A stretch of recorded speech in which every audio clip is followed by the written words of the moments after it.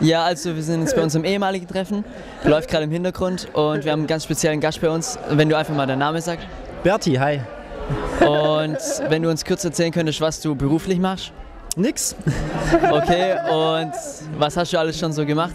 Ich habe gemodelt eine Zeit lang für alles Mögliche. Ähm, haben wir vorher auf dem Vortrag erzählt, von Armani bis Gaultier und Hilfiger und ähm, alles Mögliche. Äh, und habe dann in New York gelebt für vier Jahre und habe äh, Schauspiel studiert. Und äh, ja, momentan mache ich nichts und lebe einfach nur im Moment und habe den Luxus, es so machen zu können. Ähm, und gehe von Projekt zu Projekt. Ähm, ja. Okay, klingt auf jeden Fall interessant. Und ähm, wie kommt man dazu, überhaupt Männermodel zu werden? Naja, habe ich ja vorhin erzählt. Ich bin da von so einer, von so einer Frau entdeckt worden, von, einer, von einem Scout aus Mailand. Und, äh, und dann ging es halt irgendwie so los. Und äh, ja.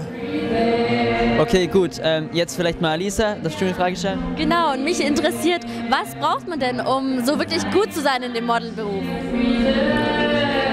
Talent, Präsenz, Aussehen.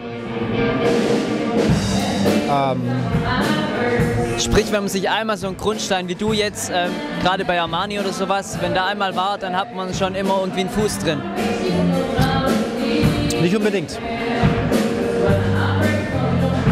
Ja, was ist so dein. Keine, keine Garantie. Keine Garantie. Okay, und ähm, wie ist es so, wie lange macht man das ungefähr oder hast du irgendwelche Referenzwerte? Ich schon seit sechs Jahren. Man macht so lange, wie man, wie man arbeitet. Aber Also reicht, sagen wir mal, das Geld, was du in sechs Jahren verdient hast, reicht dir das jetzt noch, keine Ahnung, 10, 15, 20 Jahre? Oder wie, wie planst du das finanziell dann?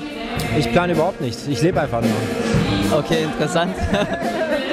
ja, dann Dankeschön für das Interview und ähm, ja, viel Spaß dann noch.